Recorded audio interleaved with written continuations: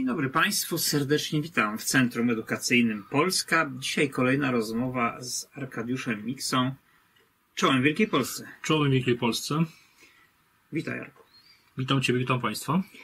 E, Arku, zbliżają się wybory do tak zwanego eurokołchozu, e, a w kołchozie jak zawsze, no kołchoźnicy jedni są wyższych lotów, inni trochę niższych. E, co i raz docierają do nas informacje o różnych dziwnych kandydatach. E, najczęściej żartuje się na ich temat. Mam nadzieję, że Konfederacja uniknęła e, tego typu postaci, które będą wytykane palcami i ośmieszały ten komitet wyborczy. No cóż, Rafale, ze smutkiem powiem, że niestety nie jest tak jak myślisz. Konfederacja postanowiła pójść za ciosem. Narzekaliśmy i wytkaliśmy, mówiliśmy, że podczas wyborów do naszego krajowego parlamentu były tam już na listach, że tak powiem, e, egzotyczne egzemplarze, egzotyczne, egzotyczni kandydaci. No w, samorząd do, w wyborach samorządowych doszły kolejne elementy, to już głównie było zasilenie się, posilenie się ludźmi związanymi z w, w, bardziej formalnie czy mniej formalnie z PiSem. No a niestety w tej kampanii mamy, mamy kolejne kwiatki, bo na liście w, w okręgu dolnośląskim Konfederacji znalazła się 23-letnia Aleksandra Kiepura. E, no, pani Aleksandra Kiepura ma, cóż, no, ma, ma bardzo ciekawe podejście, w ogóle ma bardzo ciekawy w ogóle i przebogaty życiorys, jak się okazuje. No, jak dopiero 23 lata. Ma 23 lata, ale już 10 lat doświadczeń, jak sama mówi, w spożywaniu alkoholu i, i zażywaniu narkotyków. O ile idzie o alkohol, to mówi, że już tak raczej e, postanowiła tak bardziej przystopować. Już natomiast, się przepiła. Już się przepiła, natomiast jeśli idzie o narkotyki, no to praktykuje dalej, praktykuje, można powiedzieć. No wywiad w ogóle y, z panią Kiepurą, gdybym nie, nie, nie wiedział, że, że to rzeczywiście jest kandydatka, to pomyślałbym, że to jest po prostu jakaś parodia, że jakaś, jakaś tam złośliwa grupa kabaretowa zrobiła sobie po prostu żart. Z kandydatką. Żart z rzekomą kandydatką. Z rzekomą kandydatką i w formie takiego po prostu tutaj jakiegoś pastiszu, nie wiem, y, postanowiła się zabawić y, kosztem y, Konfederacji, a niestety nic bardziej mylnego. No właśnie w wywiadzie ta kandydatka, która ma między innymi za sobą udział w jakimś reality show, gdzie tam wybierała, przebierała między mężczyznami i zdecydować się nie mogła.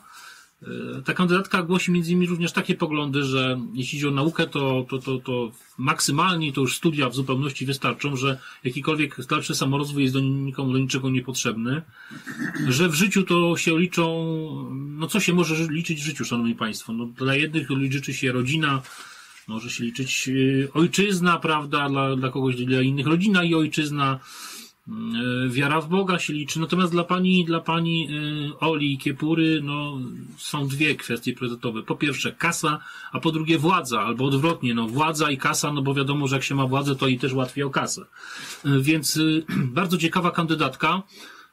Wydawać by się mogło, że po tym nagraniu, po tym wywiadzie, który no dość tam w mediach społecznościowych dość szerokim echem się, że tak powiem, odbił, to no, władze dojdą do jakiegoś i tą kandydatkę usuną. Otóż nic bardziej mylnego, kandydatka dalej jest na liście e, i do, do dnia dzisiejszego, do momentu naszego nagrania nic się w tym temacie nie zmieniło. Jest to w dalszym ciągu kandydatka.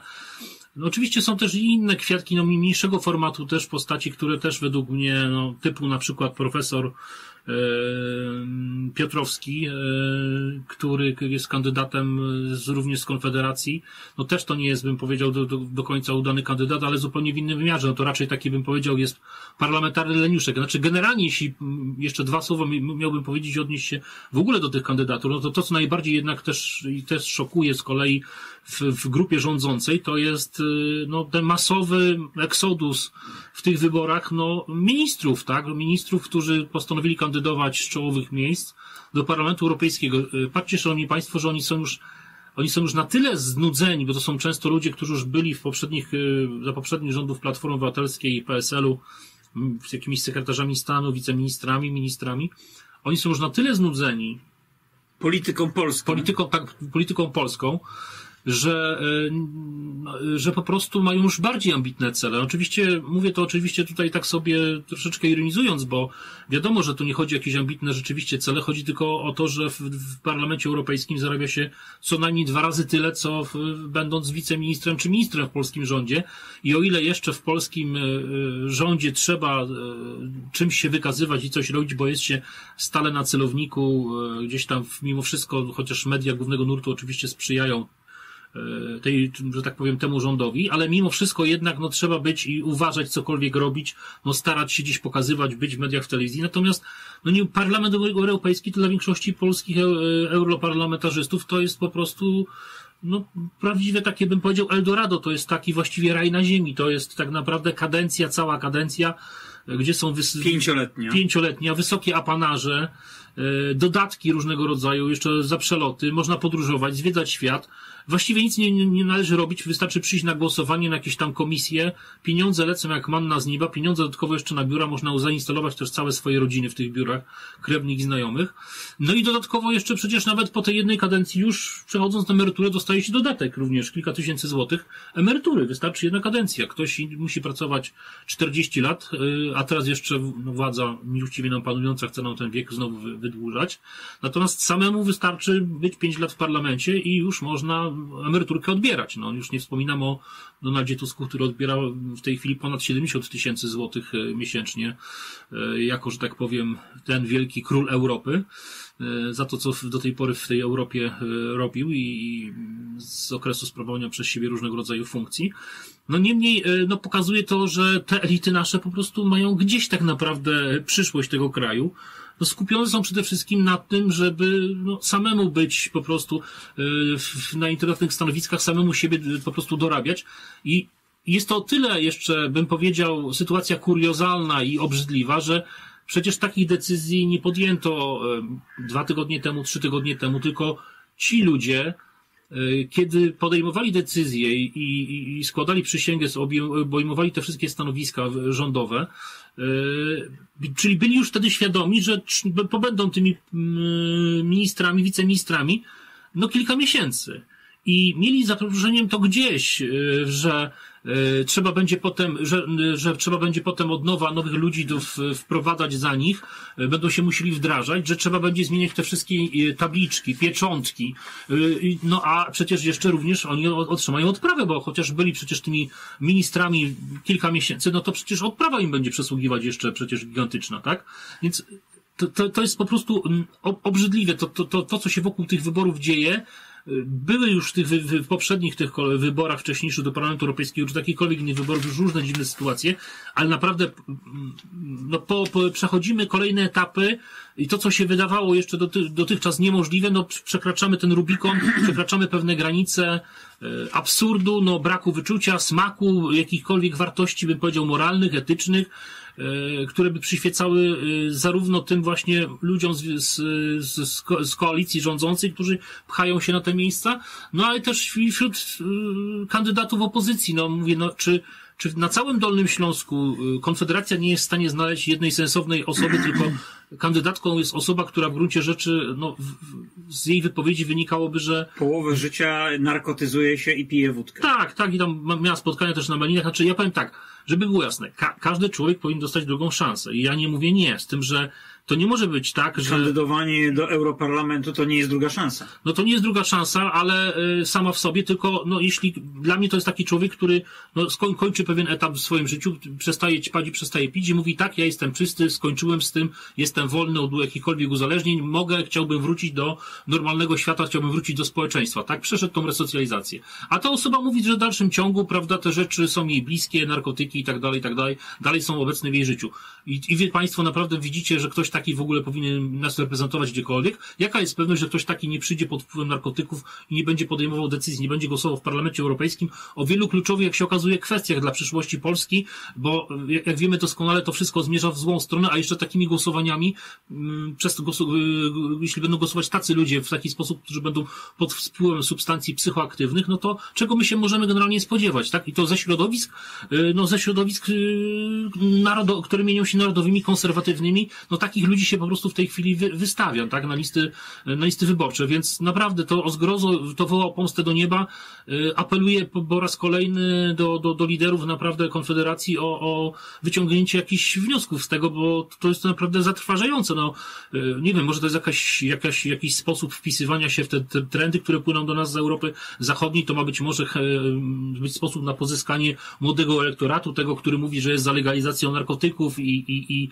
takim hedonistycznym podejściem do życia. Może to, to są te brakujące punkty, które chce się wyrwać, żeby jednak tych e, parlamentarzystów mieć w Brukseli. No, pytanie tylko, czy cel uświęca środki, czy czy y, to jest ta właściwa droga, czy to jest ten właściwy kierunek, to należy sobie zadać pytanie, bo jeśli takich ludzi chcecie wystawić, y, którzy jest duża szansa, że was skompromitują, no to, no, to będzie, to może być sukces chwilowy, że od, odhaczycie, powiecie, że macie parlamentarzystów, a potem ktoś taki y, pod wpływem narkotyków zrobi coś głupiego, co się będzie po prostu ciągnęło potem za całą formacją i praca dziesiątek, ba, setek czy tysięcy wolontariuszy, działaczy struktur terenowych pójdzie to wszystko wszystko w piach, można powiedzieć, bo, bo, bo, bo ktoś podjął taką decyzję, żeby na Dolnym Śląsku wystawić taką osobę w wyborach. Znaczy skandalem jest sam fakt wystawienia, natomiast e, e, myślę, że taka kompromitacja, że pod wpływem narkotyków coś by robiła w parlamencie, to nam nie grozi, bo nie ma szansy się dostać do tego parlamentu.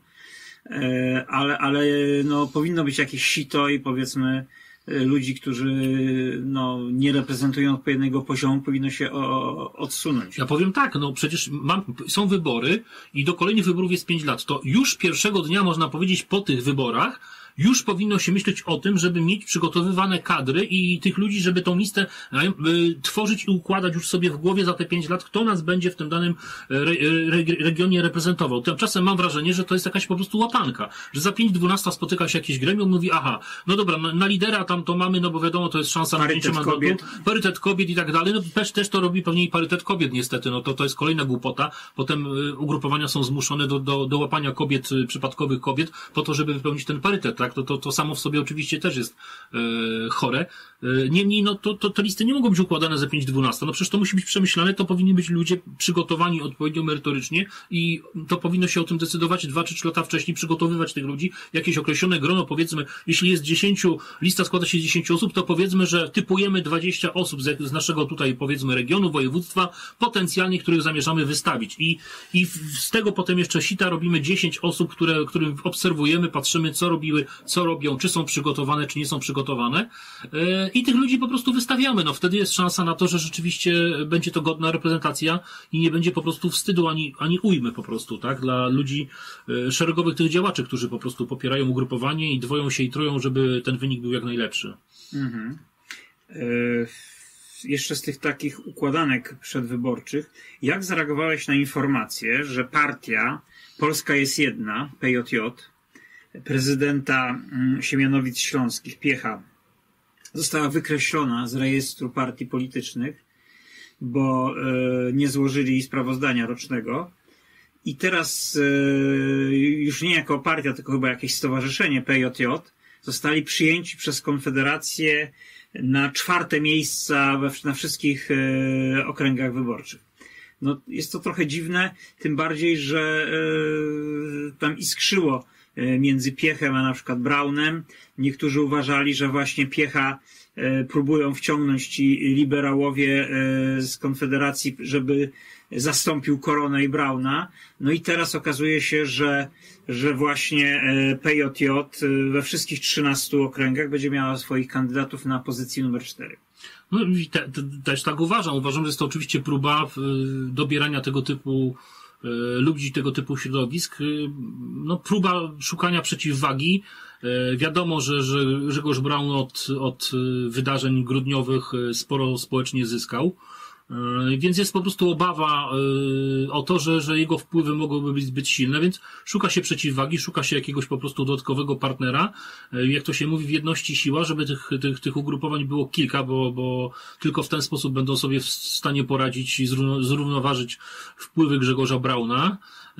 Więc no, jest, to oczywiście, mówię, no, to tak, jak, tak jak zauważyłeś, to mam takie samo zdanie na ten temat, że, że jest to próba po prostu Wypchnięcia korony. Wypchnięcia z, korony, z to jest tak, osłabienia wpływów korony, no, właśnie szukania alternatywnych rozwiązań, co będzie, że tak powiem, z Konfederacją, jak nie będzie w niej już Grzegorza Brauna i, i Korony, więc no, ten plan widać wyraźnie, że w tym kierunku to wszystko generalnie zmierza. No, to, to, to, według mnie to jest nieuniknione. Odejście Grzegorza Brauna jest nieuniknione, tylko są tylko dwa warianty. Albo Grzegorz Braun i jego ludzie zrobią to z honorem i odejdą sami pierwsi, albo po prostu zostaną stamtąd usunięci, tak? To, to tutaj nie ma jakiejś innej możliwości, tak? Zobaczymy też, co te wybory pokażą, czy, czy, czy uda... Za miesiąc będziemy mądrzejsi. Będziemy Za miesiąc znali... będziemy mądrzejsi, czy, czy udało się coś ugrać koronie w tych, w tych wyborach i zdobyć choć jeden e, mandat, który, co prawda tylko jeden mandat, ale nawet ten jeden mandat jest już jakimś, jakimś tam po prostu przyczółkiem i w tym parlamencie i też już pozwala dodatkowo mieć jakieś środki finansowe na, na, na tworzenie chociaż kilku, czy z tych pieniędzy nawet i można pewnie byłoby z 10 jakichś biuro tworzyć e, terenowych do działania, więc e, no zobaczymy jak to będzie wyglądać. No niemniej tak to wygląda ta, cały czas, że ta praca, że tak powiem, e, liderów pozostałych ugrupowań wchodzących w skład od, odbywa się w kierunku osłabiania e, Grzegorza Brauna i jego środowiska. Czy nie sądzisz, że osłabienie pozycji Grzegorza Brauna jako uniosceptyka, bo Grzegorz Braun nie jest eurosceptykiem, nie jest wrogiem E, Europy, jest Europejczykiem, ale jest właśnie e, uniosceptykiem, bo Unia Europejska zaprzecza wszystkim wcześniejszym e, wartościom europejskim. O tym trzeba pamiętać. I teraz pojawiło się kilka list takich poleexitowych. Tam ostatecznie nie wiem, czy dwie czy trzy listy. Wiem, że pan były europoseł Żółtek E, taką listę ma. Nie dogadał się z Korwinem, też byłym europosłem, który też ma swoją listę. I ostatecznie nie wiem, czy Stanisław Michalkiewicz z kimś współpracuje, czy się całkiem wycofał. W każdym razie jest kilka środowisk eurosceptycznych, które poza Konfederacją w zasadzie będą walczyć o ten sam elektorat. Moim zdaniem to jest rozdrobnienie i osłabienie. No z pewnością tak. Jest to rozdrobnienie osłabienie, natomiast też z drugiej strony ja się e, troszkę też nie dziwię e, tego typu postawą, no bo jeśli nie ma też możliwości współpracy e, ze środowiskami Konfederacji i ułożenia się, stworzenia wspólnej listy, no to próbują, to ci panowie robić to na własną rękę. No też było jeszcze Żółtek i, i, i, i Korwin, z tego co widziałem, to już raczej przesądzone, że porejestrują te listy, chyba że im tam od, od, odrzucą podpisy. Natomiast nie wiem też jeszcze, bo jeszcze było przecież to środowisko Bąkiewicza, które też miał być swoją formację mieć wystawioną najprawdopodobniej z przekazu ludzi związanych z ziobrystami jako konkurencję właśnie dla, dla Konfederacji. Nie wiem z kolei jak oni, czy, do, czy, to, czy w końcu do tego mhm. dojdzie, czy nie, bo nie, nie śledzę tego, e, tego wątku.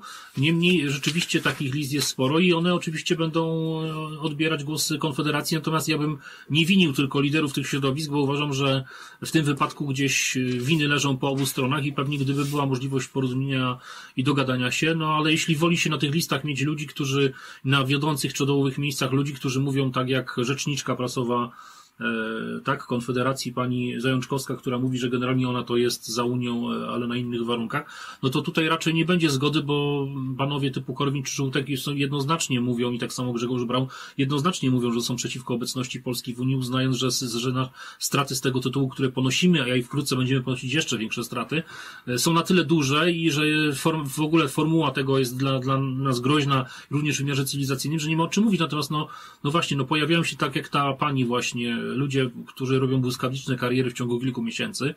E, warto byłoby sobie, prawda, prześledzić e, przeszłość tej pani, żeby zrozumieć być może dlaczego ta pani jest też E, mówi, że jest za, jednak za Unią Europejską, bo nie jest to też byt według mnie samodzielny i niezależny, tylko kierowany troszeczkę, bym powiedział, z zewnątrz przez czynniki biznesowe i, i wiele by to po prostu wyjaśniało, dlaczego jest taka postawa, natomiast no, dla mnie jest to postawa absurdalna. No, mówienie o tkwieniu w Unii Europejskiej na, w bieżącej formule, w bieżących zasadach, zarówno w wymiarze gospodarczym, cywilizacyjnym, kulturowym, tożsamościowym, jest po prostu dla nas... Pudrowa, pudrowanie trupa. Tak, znaczy to jest dla nas zagrożenie. W ogóle Unia nie jest, nie jest środowiskiem, bym powiedział, w wymiarze gospodarczym, który, który, który się rozwija w sposób prawidłowy i takim, jaki rozwijać się powinien.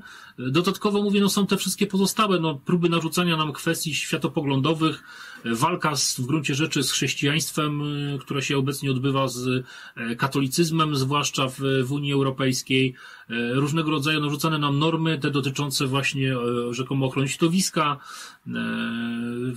walki z jakimiś wyimieniowanymi faszyzmem, a tym faszyzmem może być wszystko, jakiekolwiek odstępstwo jest już po prostu faszyzmem, czy próby posiadania niezależnej polityki, tak jak widzimy to w wypadku, w tej chwili w wypadku, co się dzieje w wypadku Węgier czy, czy Słowacji, że kraje, które próbują prowadzić zrównoważoną politykę równowagi między wschodem a, a zachodem są atakowane, są sekowane, utrudnia im się życie, utrudnia im się funkcjonowanie, próbuje się zmuszać do, do, do, do poddania, do uległości, a jak nie, to organizuje się jakieś grupy opozycyjne. Przykład chociażby teraz Węgier i, i Madziara, którego opozycjonisty, o którym żeśmy rozmawiali, który jest wschodzącą gwiazdą nagle, tak, pojawia się znikąd z kapelusza i nagle... Madziar wśród Madziarów. Madziar wśród, największy Madziar wśród Madziarów, najbardziej proeuropejski, więc no to są, to są rzeczy głęboko niepokojące, nie po to, po tylu bym powiedział, wiekach różnego rodzaju form zależności mniejszej czy większej walczyliśmy o tą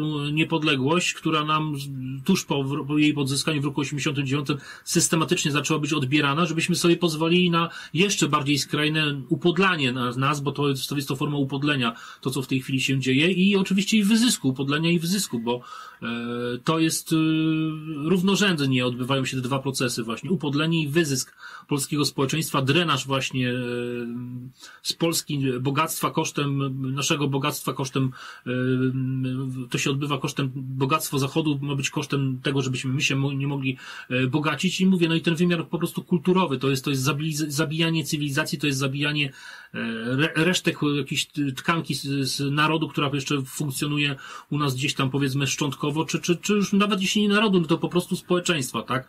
Bo to wszystko zmierza w kierunku niezwykle niebezpiecznym i to wszystko gwałtownie przyspiesza ten wymiar cywilizacyjny. Warto powiedzieć sobie o, o tym śmiesznym żałosnym festiwalu Eurowizji, gdzie w, w tym roku no, po prostu do, dominował satanizm i jeszcze dodatku, do, do, oprócz satanizmu drugi wątek, y, kandydatka z Ukrainy z, z reklamowała banderę, tak? I to też to nikomu nie, kompletnie nie przeszkadzało. W jaki sposób reklamowała? No, reklama, rekla, reklamowała, jest taka firma, z, wiodąca firma jakaś tam dla speców od, od marek typu tam Dior, Balenciaga się nazywa, czy Balenciaga, nie wiem, czy się to tam dokładnie poprawnie wymawia, to ona miała prze, prze, zmienioną tą nazwę na e, Baren, Baren od, Baren, od, od Bandery, Barenciaga, tak, że było to wprost nawiązanie, ona tego nawet zresztą nie kryła do, do, do Bandery po prostu i w takim, z takim stroju, w, takim, w takiej postaci się awiszowała i występowała na festiwalu Eurowizji. No więc jeśli, co, co ciekawe, nawet, nawet posłanka Lewicy Żukowska tym razem powiedziała, że ona tej pani z Ukrainy kibicować nie będzie, bo to jest to po prostu, byłoby to sprzyjanie po prostu faszyzmowi i tak dalej, i tak dalej, to, to mnie, to mnie zaskoczyła. Znaczy ona powiedziała to oczywiście ogólnie o nacjonalizmie, że sugerując, że to samo się to wpisuje, oczywiście również i nacjonalizm również polski, prawda? Bo dla niej to jest to wszystko jedno, co Bandera, to i nacjonalizm polski, to jedno i to samo. No niemniej zareagowała, chociaż przynajmniej, tak ogólnie mówiąc. No więc yy, takie to mamy festiwale, takie to mamy czasy. Y, kandydat, ktoś rzucił właśnie y, piosenkę śpiewaną ponad dwie dekady, właściwie prawie, chyba w roku 96 przez jakiś zespół irlandzki. No jakaś piękna po prostu, słuchaj, ba ballada y, w jakiejś poetyckiej konwencji, mhm. a teraz Irlandia wystawia jakiegoś kobietę potwora, wyglądającego jak szatan, mówiącego jak, jak ktoś opętany. Tańczy ona w pentagramie, rozświetlonym gdzieś jakimś ogniem po prostu wokół. No, nawet dla osób takich, jak zauważyłem w komentarzach na portalach społecznościowych, które no nie są przywiązane do, e, do bym powiedział, do jakichś do wartości chrześcijańskich czy katolickich, no cały, cały ten występ był przerażający i ci ludzie powiedzieli, że strach po prostu, bo ten festiwal też oglądały często gdzieś całe rodziny z dziećmi, tak, jako, prawda, wydarzenie, europejskie wydarzenie kulturalne, A tu po prostu była promocja satanizmu i to zresztą nie był jedyny zespół, który w ten sposób się zachowywał, bo również kandydatka z Polski w, w podobny sposób też takie motywy się znajdowały na mniejszą skalę, ale również. I jeszcze trzeci zespół również. A kandydat na przykład, słuchaj, z Finlandii biegał na Golasa, tak? Także było już z Finlandii, był, był kiedyś zespół, który tam miał poprzyczepiane jakieś tam kawałki mięsa, a tym razem biegał po prostu na Golasa gdzieś tam, pokazywał Czyli antykultura. Antykultura, no, antykultura w skrajnym po prostu wydaniu i po prostu jak człowiek na to patrzy i sobie myśli, to jest festiwal e, kultury europejskiej, to powiem szczerze, wstyd mi by, by mógł utożsamiać się z, z Europą i że tru, trudno byłoby się w tym momencie przyznać, że jestem Europejczykiem. Szczerze, wolałbym mówić, że jestem Azjatą, bo jak Azjaci na, na taki festiwal patrzą, no to myślę sobie, że w większości państw azjatyckich nawet to po prostu patrzą na to i zastanawiają się, o, o co tu w ogóle chodzi, gdzie jest ta słynna wielka cywilizacja, ta wielka kultura europejska. Co się z nią po prostu stało? Okazuje się, że te dwie piosenki irlandzkie na perspektywie tam powiedzmy ćwierćwiecza pokazały, jak głęboko, jak głęboki proces degeneracji kulturowej, cywilizacyjnej następuje i to się, to się nie odbywa, że tak powiem, od, od poza Unią Europejską. Nie. No to się odbywa równolegle i Unia Europejska teraz coraz bardziej zaczyna temu sprzyjać, coraz mniej zajmuje się kwestiami gospodarczymi, rywalizacją Europy na rynkach międzynarodowych, a coraz bardziej właśnie idzie w kierunku takim, bym powiedział, no takim właśnie ustroju takiego totalitarnego, komunistycznego, który państwom członkowskim narzuca, e, co należy myśleć na temat rodziny, co należy myśleć na temat e, wartości. E, no, to się też dzieje również i w, w Ameryce Północnej, bo ostatnio słyszałem, że w którymś stanie podobno ocenzurowano część Biblii. Do tego doprowadzono, że uznano jakieś wątki w Biblii, nie wiem, czy z powodów rasistowskich, czy antysemickich, że są, nie wiem, niewłaściwe i po prostu będzie już teraz w tym, w tym stanie Biblia będzie wychodzić okrojona z pewnych wątków, bo, bo są niewłaściwe i niesłuszne.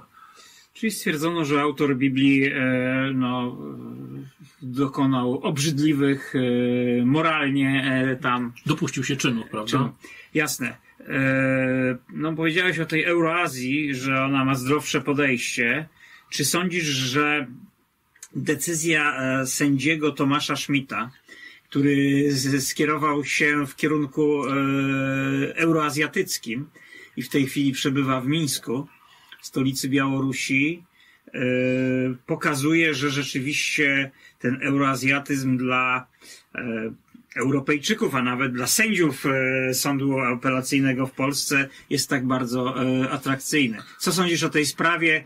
Czy to mm, chwilowe kłopoty, nie wiem, finansowe, rodzinne, zawodowe, czy jednak być może ukoronowanie pewnej dłuższej no właśnie, współpracy, czy...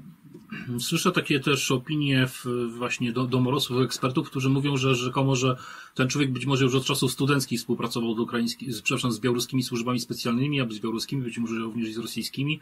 E, trudno tak naprawdę na tym etapie powiedzieć, co rzeczywiście on przekazał i dokładnie też jakie były... I czy w ogóle przekazał. I co, co przekazał i w jakiej, jakiej skali były to dokumenty. Natomiast oczywiście to, co niepokoi, no to można znaleźć kilka takich, bym powiedział, ciekawych wątków w tej sprawie. No, wątek pierwszy, że to, co, to, co my często mówimy, że człowiek ten był w bardzo dobrych relacjach, okazuje się i z PiSem, i z PO, czyli no, potwierdza to generalnie pewną tezę, że no, no, te środowiska ludzie w pewnych środowiskach tych, no to, to ręka rękę myje, to są ludzie, którzy ze sobą kompatybilnie współpracują, a przypomnijmy, że oficjalnie również głoszą takie same poglądy, nikomu rzekomo antyrosyjskie, antybiałoruskie, a potem mamy takie kwiatki. I to też jest symptomatyczne, że prawda, cały szereg w Polsce środowisk tożsamościowych, e, patriotycznych, e, Y, które zdroworozsądkowo podchodzą do, do, do, do, kwestii konfliktu na Ukrainie, czy do stosunków polsko-białoruskich, wyzywało się od, prawda, od ruskich onóc, przecież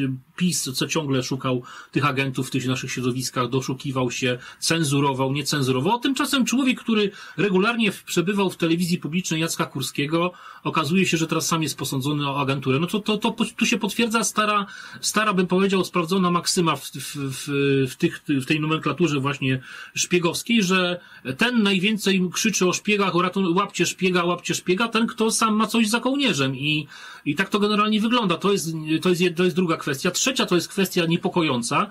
że ktoś wymyślił w 2010 roku, że sędziowie nie będą weryfikowani przez służby, no bo to rzekomo to sędziowie mają weryfikować służby. No rzecz dla mnie totalnie absurdalna, no bo skoro na przykład w Wojsku Polskim cywilny pracownik wojska, mm, ten, który nawet nie ma do, dostępu do informacji tajnych, tylko do informacji poufnych, przechodzi weryfikację, e, złożoną weryfikację, gdzie sprawdza się jego kontakty z cudzoziemcami, e, sprawdza się jego życie, jego życie jego rodziny, czy przynależność do organizacji, e, z fundacji, stowarzyszeń, przechodzi weryfikację nawet zwykły pracownik biurowy, którym tak naprawdę niewiele co, tak na, żadnych tajemnic generalnie wiedzieć nie może, nie zna tych tajemnic tak naprawdę, tych takich kluczowych, i jest weryfikowany do, do tej pracy, musi być weryfikowany i ta weryfikacja co pewien czas jest e, po prostu powtarzana przez służby. E, a e, sędziowie mający dostęp do naj, na, największych tajemnic państwowych, no nie są. No ja uważam, że taki nadzór oczywiście być powinien i, i proporcjonalnie im dany sędzia zajmuje wyższe stanowisko w hierarchii, im ma dostęp do rzeczy bardziej tajnych, no to tym bardziej i, i, i bardziej skrupulatnie powinien być sprawdzany i nawet z większą częstotliwością niż taki zwykły pracownik E, właśnie wojska, czy, czy innych powiedzmy instytucji związanych z naszym bezpieczeństwem. No to, to, to jest dla mnie rzecz jakaś absurdalna.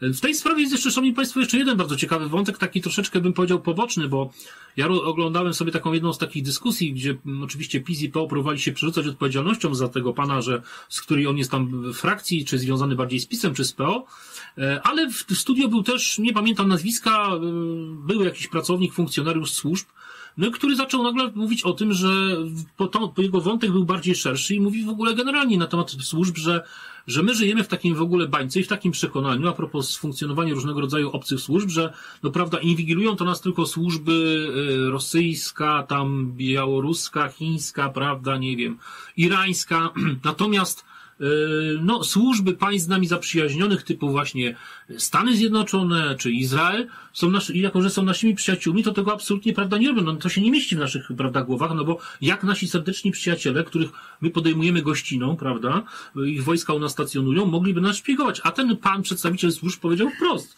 że to jest, no, może nie wprost, ale powiedział wprost w tym sensie, że e, nawiązał do tego, że jest to, to głupie myślenie, bo no, y, jak to się mówi, układy polityczne układami politycznymi, ale nie ma pewności w polityce i wymiarze międzynarodowym, że dzisiaj ten, kto jest, się z kim przyjaźni, że za lat pięć dalej się będą, prawda, przyjaźnić. Na przykład nasi sojusznicy ukraińscy. Tak, nasi sojusznicy ukraińscy nie będą nasi, naszymi wrogami i to dotyczy nie tylko ich, bo to dotyczy również Izraela czy e, Stanów Zjednoczonych. No, przypomnijmy, że tutaj kiedyś u Ciebie w programie rozmawialiśmy na ten temat, że parę dekad temu e, ściśle współpracowały ze sobą służby specjalne Iranu i Izraela. No, dzisiaj byłoby to, prawda, komuś byś to powiedział, przecież większość ludzi o tym nawet nie ma pojęcia, że tak wyglądało. Dzisiaj te kraje się nienawidzą, zwalczają w, na arenie międzynarodowej, e, więc... To jeszcze za czasów szacha, tak, wszystko, wszystko jest, okazuje się być rzeczą płynną, natomiast my żyjemy w przekonaniu, że no, na, nasi partnerzy, przyjaciele nas nie sprawdzają, a ten właśnie były funkcjonariusz służb powiedział wprost, że oczywiście, że, że służby penetrują amerykańskie, doglądają tu swoich interesów, że służby Izraela penetrują, a tylko my żyjemy w jakimś przekonaniu, że skoro jesteśmy przyjaciółmi, a przecież ja mam przynajmniej nadzieję, że nasze służby też to robią, że, że szpiegują y, w Stanach Zjednoczonych na rzecz Polski, że szpiegują w Izraelu na rzecz Polski. No mam nadzieję, że taką robotę robią, że nie żyją w tej bańce i próżni i nie wydaje im się, że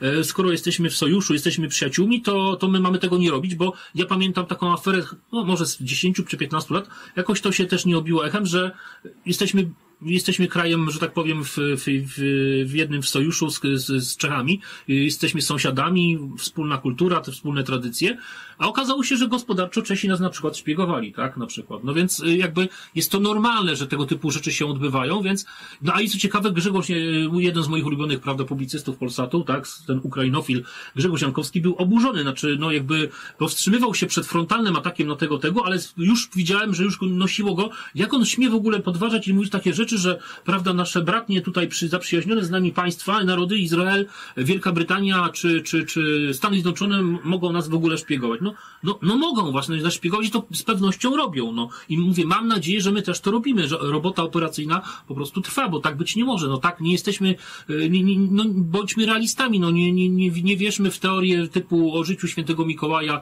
i o tym, że rozdaje wszystkim za darmo prezenty, bo to jest taka sama, taki sam utopijny sposób myślenia, jak ten, że po prostu, skoro jesteśmy przyjaciółmi, to będziemy nim przez wieki i mamy nie prowadzić roboty i też pozwalać, żeby naszym terytorium hasały obce służby, tak? No to też było tam nawiązanie właśnie do służb, ten, ten człowiek też również powiedział oczywiście o służbach również ukraińskich, tak? Że, że też sobie po prostu poczynają i, i dbają skrupulatnie o interesy ukraińskie na terytorium państwa polskiego, tak? I zresztą to widać przy różnego rodzaju akcjach. Ja kiedyś nawet chyba u, u, mówiłem to u ciebie, widziałem taką akcję sprawnie przeprowadzoną ukraińskich służb, kiedy była wizyta prezydenta Stanów Zjednoczonych w Polsce i nagle pojawiły się grupki zorganizowane, które apelowały z transparentami pod Mariotem, gdzie, że tak powiem, e, no, nocował prezydent Stanów. Taka, taka spontaniczna taka manifestacja. spontaniczna manifestacja wrzucająca hasło, że myśliwce F-16 dla Ukrainy, tak? No to było widać po tych ludziach, że to nie była, że to nie były przypadkowe osoby, tylko to było zorganizowane przez, przez służby specjalne Ukrainy. No tak to wygląda w praktyce. No i albo to zrozumiemy, albo nie. No, no to, no to ta, cała ta sytuacja i ta ucieczka tego człowieka bez względu na to, czy miał tajemnicę, czy nie. Y, I to, że rok temu był na, na Białorusi, nikt tego nie weryfikował, że ten sędzia jest, że nie dziwiłoby mnie jeszcze, gdyby był, nie wiem, w wolnym czasie w ogóle miłośnikiem kultury, y, nie wiem, w, she pogranicza polsko-białoruskiego, nie wiem, interesował się wspólną naszą historią, no to by mnie to nie dziwiło, ale... On jeśli... stamtąd pochodzi, z Białegostoku. Aha, no to, ale to i tak, nie wiem, według mnie, no dziwna, dziwna po prostu sprawa, że nikt tego nie weryfikował, nie sprawdzał. No świadczy to um, o upadku też i służb naszych, no ale no to, to też wynika właśnie z upolitycznienia przede wszystkim tych służb, tak? Że one są wiecznie upolityczniane, że zmienia się władza, wyrzuca się jednych, potem stawia się miernych, ale, ale wiernych yy, i, i kolejnej opcji politycznej yy, i skupia się na jakichś wy, wy, wydumanych, wyssanych z palca teoriach i szukaniu szpiegów tam, gdzie ich nie ma, a tam, gdzie rzeczywiście być może są i albo są, no to po prostu nie prowadzi się działań operacyjnych, tak? Przeciwko tym ludziom. Na zakończenie jeszcze dwa trochę inne, krótkie tematy związane z pewnymi obrazkami, które się pojawiają, zwłaszcza w internecie. Pierwsza sprawa, pojawiły się zdjęcia Macieja Rybusa, polskiego piłkarza grającego w Tatarstanie, w, to jest chyba Riazan Kazań, klub w czasie obchodów Dnia Zwycięstwa. Federacji Rosyjskiej, gdzie składa kwiaty razem z innymi zawodnikami tego klubu i tak jak wszyscy zawodnicy z tego klubu ma tak zwaną Georgiewkę, czyli taką wstęgę świętego Grzegorza przypiętą do no, do ubrania, do, do, do tego dresu, można powiedzieć, czy tego ubrania sportowego, który ma na sobie. Nie wiem w ogóle z czego się bierze cała ta jakaś nagonka na tego piłkarza, bo jakoś Polacy nie, nie widzą problemu w bojkotowaniu na przykład na Eurowizji, potrzeby bojkotowaniu reprezentacji Izraela i nie krzyczą, że tutaj po tych zbrodniach, których dokonuje Izrael powinno się to, to państwo bojkotować. Uczepili się tego Rybusa, zresztą nie tylko Rybusa, bo przecież byli też inni sportowcy, którzy byli wręcz linczowani tylko za to, że, że grali w rosyjskich klubach, zmuszani do tego, żeby te kluby opuszczali. W wypadku Rybusa sprawa jest jeszcze o tyle bardziej złożona, że on ma tam rodzinę, że po prostu ma dzieci, yy, że jego żona jest Rosjanką. Poza tym, szanowni państwo, no przecież ja przypominam sobie, nie wiem ile to będzie mniej więcej, może dekada już będzie, bo czas biegnie, ale przecież yy, kompania reprezentacyjna Wojska Polskiego maszerowała w defiladzie na Placu Czerwonym. Yy, sama defilada jest na rzecz upamiętnienia że tak powiem, zwycięstwa nad, nad, nad, nad, nad Niemcami. Przypominam, że w, byliśmy w koalicji alianckiej razem. Oczywiście te stosunki potem w końcówce były już po, po, popsute, ale niemniej byliśmy. Armia Czerwona wyzwalała, co byśmy potem nie powiedzieli o tym, co ta armia robiła, to jednak wyzwalała terytorium Polski.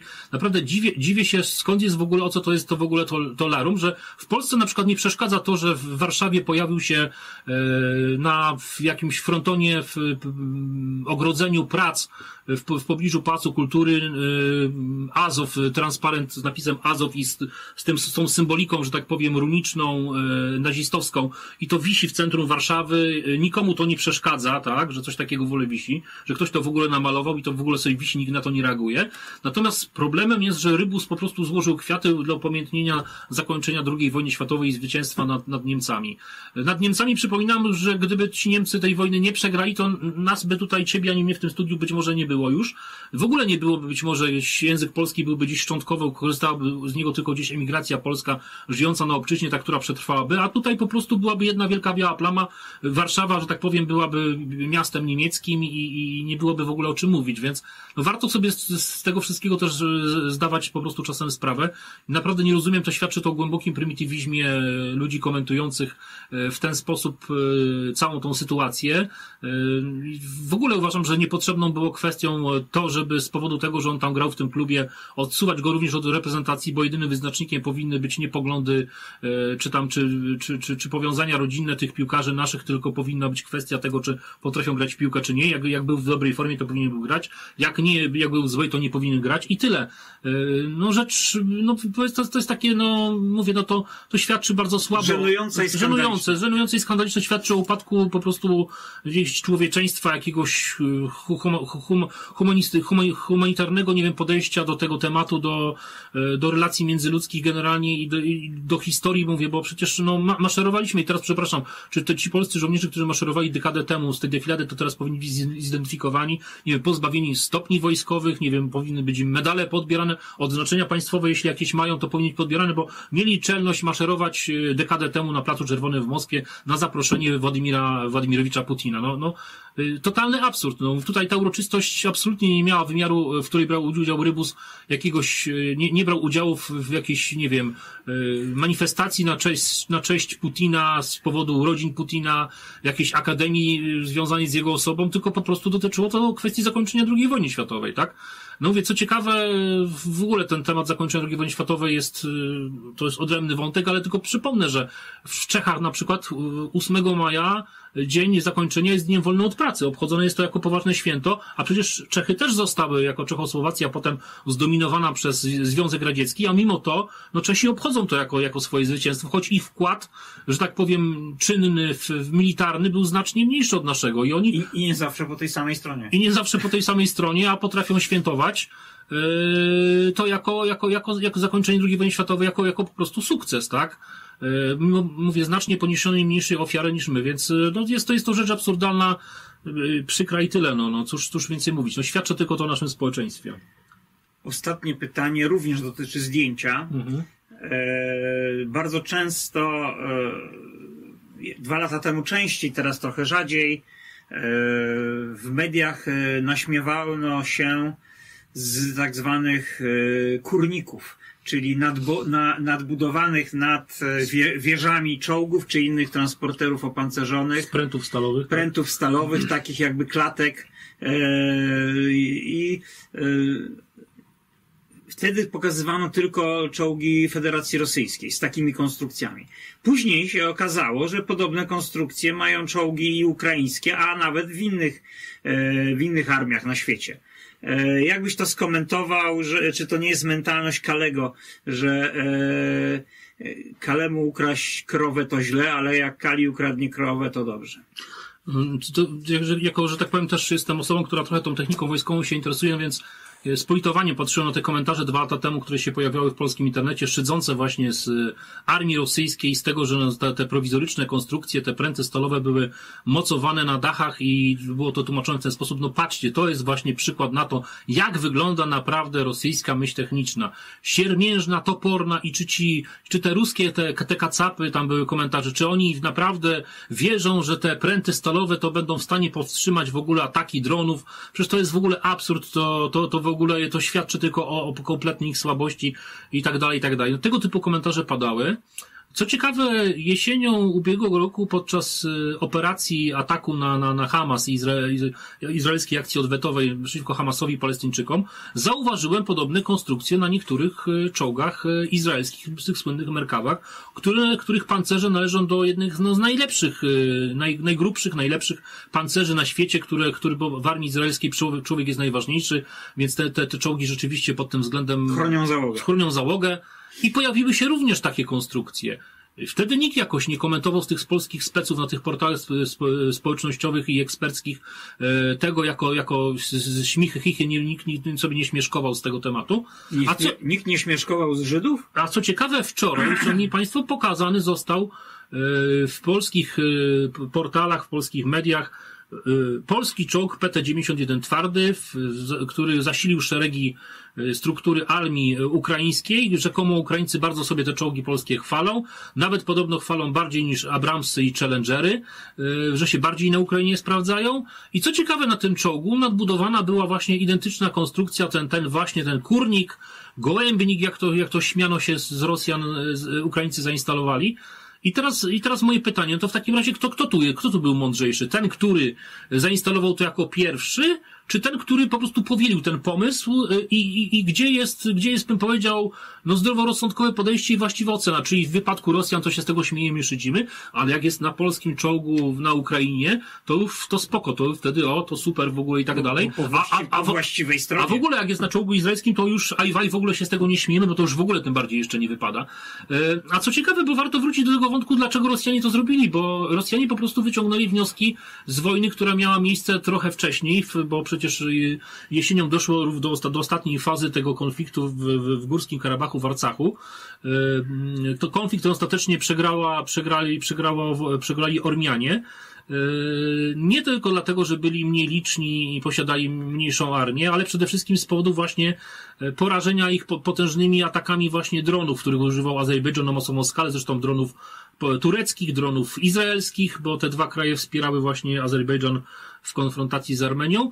No i po prostu te drony masakrowały czołgi e, ormiańskie na masową skalę, ginęły całe załogi, e, załogi transporterów opancerzonych również. No po prostu Ormianie przegrali tą wojnę z powodu właśnie tych zmasowanych ataków dronów i Rosjanie po prostu szukali jakichś prowizorycznych e, możliwości tego, żeby ochronić się przed tymi atakami, ponieważ no, czołgi są tak do tej pory były tak konstruowane, że przede wszystkim pancerz najgrubszy mają z przodu, tak? Spodziewając się frontalnego ataku przeciwnika, nieco słabszy po bokach, najsłabszy słabszy generalnie w ogóle z tyłu, no i oczywiście góra również, e, ta wieża też, od góry też nie jest super, bym powiedział, mocno opancerzona, więc e, no nie da się nagle po prostu w tak krótkim okresie czasu e, setek czy tysięcy czołgów teraz w inny sposób doposażyć, więc Rosjanie się nie mają prostych, niezawodnych metod. No zresztą w początku II wojny światowej pokazali zresztą, że wygrali, że tak powiem, z tygrysami, które produkowane, produkowane były przez czołowe koncerny przemysłowe w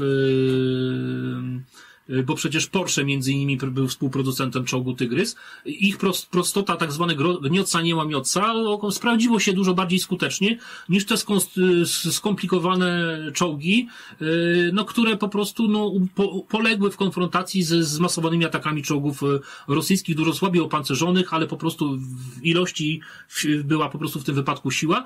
I mówię, Rosjanie są narodem pomysłowym i to jak się śledzi nawet jak wspomnienia właśnie czołgistów chociażby niemieckich, z II wojny światowej, to oni, tych, którzy walczyli zarówno przeciwko Sowietom, jak i, jak i przeciwko e, e, na przykład Amerykanom w froncie zachodnim, to e, Otto Karius, taki jeden z najwybitniejszych czołgistów niemieckich, mówił, że wielki szacunek ma do właśnie do żołnierzy Armii Czerwonej za ich pomysłowość, za zdolność adaptacji właśnie się do, do zmieniających się sytuacji na froncie, czego na przykład nie widział kompletnie u Amerykanów, tak? Mówi, że Amerykanie tego nie mają, więc szydzenie szydzeniem, a potem się okazuje, że no po dwóch latach, jak to się mówi, mówiąc, kopara opada co niektórym, bo okazuje się, że to samo stosują potem Ukraińcy, to samo stosują e, Żydzi na swoich czołgach, więc, więc po co się śmiać, po co szydzić? Wcale bym się nie zdziwił, jak za jakiś czas zobaczymy podobne konstrukcje w Polsce na polskich czołgach, tak? I dopiero na przykład wtedy... w czasie defilady 15. Tak, i wtedy, i wtedy wtedy... I będą chwalić, o, jesteśmy przygotowani na Dokładnie. ataki dronów. Tak jest. I wtedy będzie to już nie będą kurniki i gołębniki, tylko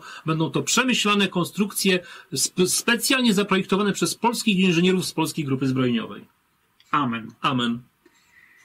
Dziękuję Państwu za uwagę. Dziękuję Ci, Arku, za ciekawe wątki tutaj, e, które rozwinąłeś.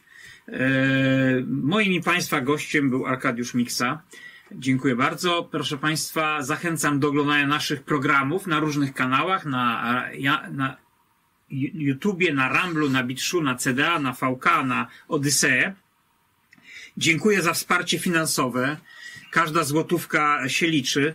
E, dzięki Państwa ofiarności, dzięki Państwa darowiznom możemy działać od wielu lat w kierunkach naszych statutowych, czyli edukacja, media, wydawnictwa.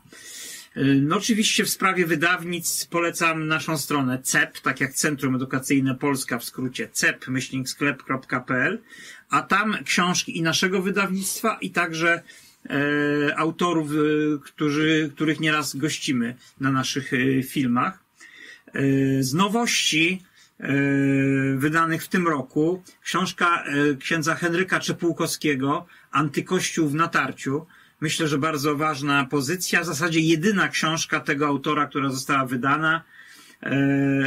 Jest on przede wszystkim znany jako mm, prelegent mówiący o masonerii, a także tłumacz książek. Ksiądz Czepółkowski przetłumaczył dwie wcześniejsze nasze książki.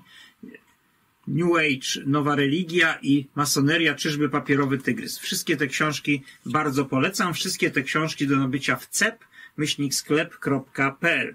W tej samej serii gorące tematy książka Pierre de Villemare Źródła finansowe komunizmu i nazizmu w cieniu Wall Street, a także książka Henneke Kardela Hitler założycielem Izraela. Również książki w serii Jedynie Prawda jest ciekawa. Pierwsza z tych książek w tej serii Piłsudski Sanacja konferencja z maja 2018 roku. O, ostatnia stoi tutaj. To jest książka o Jędrzeju Giertychu jako kontynuatorze Romana Dmowskiego, a w międzyczasie także książka Kresy Wschodnie, źródłem siły i potęgi Polski. W tej książce na przykład tekst Arkadiusza Miksy dotyczący arcybiskupa Teodorowicza. Dobrze pamiętam? Tak, dokładnie. Polecam książkę Niebezpieczny Związek, tajna współpraca USA-Izrael.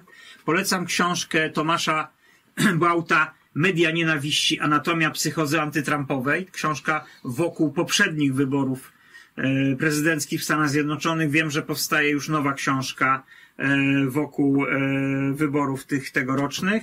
Bardzo ważna książka pana ambasadora Krzysztofa Balińskiego Polska czy Ukropolin, czyli Polska Palestyną Europy. Czyli to, co nam grozi.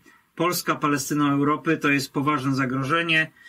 Książka do nabycia w cep-sklep.pl.